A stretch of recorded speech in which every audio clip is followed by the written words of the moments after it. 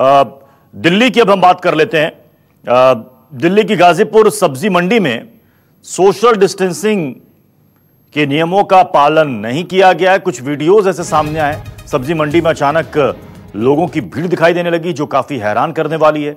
यहाँ लोगों की कई मीटर लंबी लाइन नज़र आई। जरा देखिए, दिल्ली के गाजीपुर सब्ज़ी मंडी की यह तस्वीर है। चारों तरफ़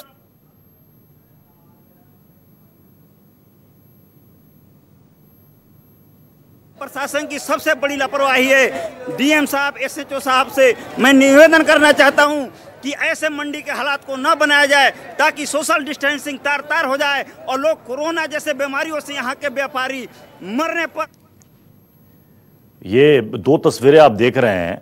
एक तरफ़ लोगों की भारी भीड़ और दूसरी तरफ़ देखिए, सारे नियम, कायदे, कानून सब टूट गए। एक तरफ़ देश में सख्ती से लॉकडाउन की बात कही जा रही है। आपको पुलिस वालों के बहुत सारे फेसबुक पर ट्विटर पर बहुत सारे वीडियोस आपको नज़र आ रहे होंगे, जहाँ पर लोगों से उठक बैठक कराते हुई पुलिस की टीम नज़र आ रही है।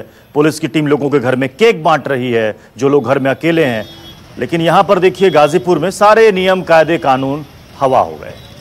दिल्ली में कोरोना के बढ़ते मरीजों के बीच हरियाणा सरकार ने गुरुग्राम बॉर्डर पर भी गाड़ियों की आवाजाही रोक दी।